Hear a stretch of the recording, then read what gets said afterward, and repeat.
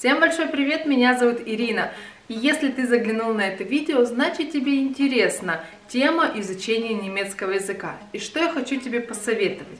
Во-первых, конечно, заходи в подсказки вниз в инфобокс и смотри плейлист видео на эту тему об изучении языка. А во-вторых, заглядывай в онлайн-школу LingvaK, которая предоставляет тебе аудио, внимание, аудиокурсы для самостоятельного изучения немецкого, английского, французского и испанских языков, которые ты, конечно, можешь выбрать сам.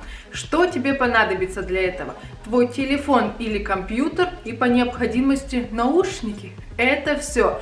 То есть, что удивительно, тебе не надо подбирать расписание, выбирать нужное время и подстраиваться под кого-то. Что ты берешь? Просто включаешь определенный аудиокурс, э, твою тему и начинаешь заниматься своими делами. Это идти в магазин, слушать машине по дороге на работу, убираться, я не знаю, готовить, кушать и так далее, и изучать параллельно твой интересующий язык. В чем же плюс аудиокурсов? А то, что они тренируют языковые навыки понимания на слух и говорение. А также немаловажный плюс, что я, конечно, считаю, это цена.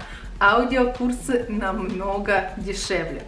Все ссылки вы найдете, конечно же, внизу в описании, а точнее на Инстаграм школа Лингвакей и на официальный сайт этой школы. Проходи, регистрируйся и начинай уже изучать на данном этапе немецкий язык.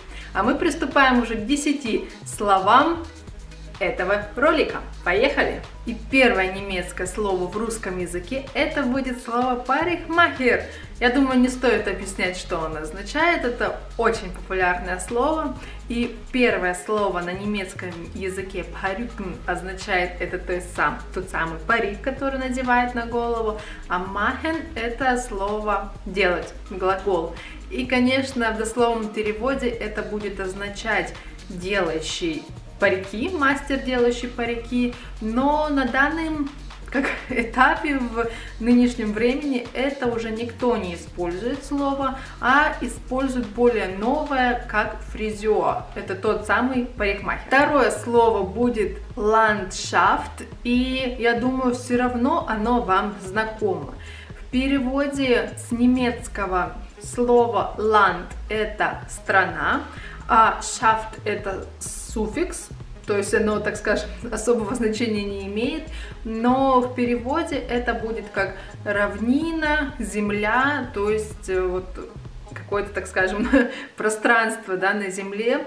И в русском языке оно переводится точно так же. Ландшафт. И следующее слово der Knopf.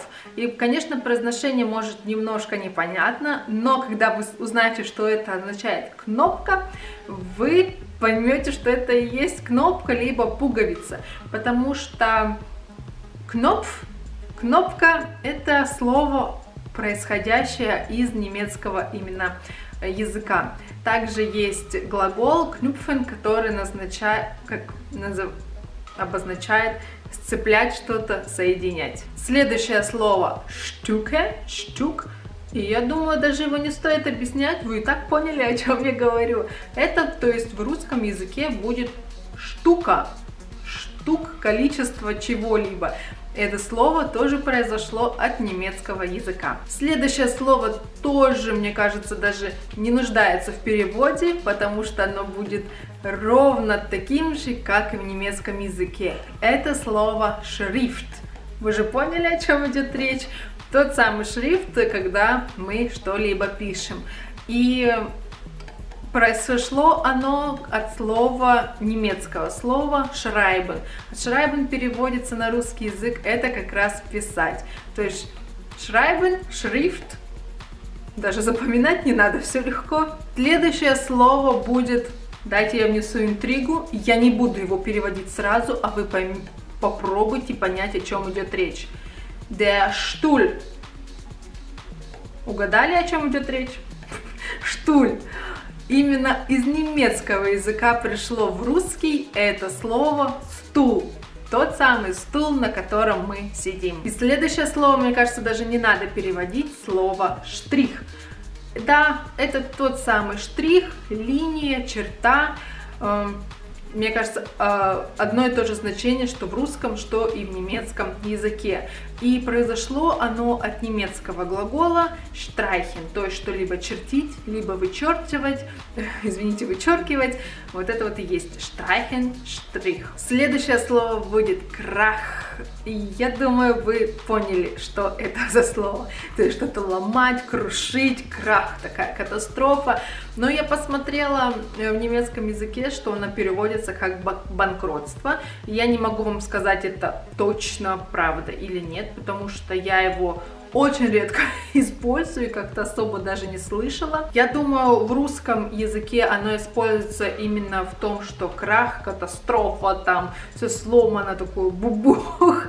И произошло это слово от немецкого глагола крахен, то есть что-то краш, украшить, извините, э, шуметь, грохотать, что-то такое вот прям бубух, и я думаю, вот именно в этом контексте в русском языке это и используется. Предпоследнее слово будет бинде, и да, это тот самый, на, если перевести на русский, бинт, перевязка. Произошло оно от немецкого глагола бинден, то есть что-то перевязывать, перематывать, и бинт это и есть -то, тот самый бинт, так он и затесался в наш русский язык как бинт. И завершу я сегодняшнюю десятку это таким красивым словом, как фойерверк.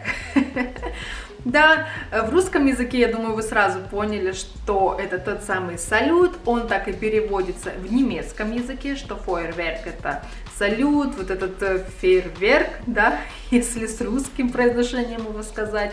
И первая частичка фойер это будет огонь, как тематично подошло. И верк это какое-то учреждение, завод, э, может быть, то есть если дословно опять перевести, то это фабрика изготовления вот этого огня. Я знаю, что переводить дословно это не хорошая идея, но фойерверк это тот самый фейерверк, на русский язык. На этом десятка немецких слов в русском языке подошла к концу. Всех хочу поблагодарить за этот просмотр. Не забывайте заглядывать в описание и регистрироваться в онлайн-школе Lingua. А всех хочу поблагодарить за этот просмотр и всем пока-пока!